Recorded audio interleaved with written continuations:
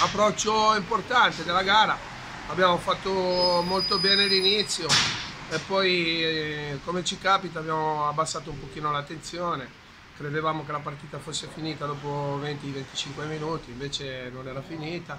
Nel secondo tempo ci siamo rimessi a fare le cosette nostre, siamo molto, molto felici di quello che, che abbiamo visto oggi. Dobbiamo migliorare quei piccoli aspetti di carica di tensione che abbiamo, ma oggi abbiamo fatto un calcio importante.